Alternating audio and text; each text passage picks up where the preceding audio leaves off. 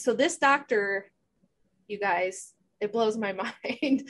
they committed her as a teenager because she she now self-diagnoses herself as having had borderline personality disorder as a teenager and said she was one of the most disturbed people that was committed to the Institute for Living.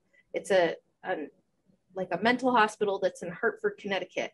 She was committed there for 26 months, so just over 2 years, and subjected to electroconvulsive therapy, thorazine, Librium, and other very powerful drugs, as well as isolation and sleep deprivation in the 60s, yeah. which and was at the height of. electroshock of, is another uh, staple of the MK Ultra. Yes.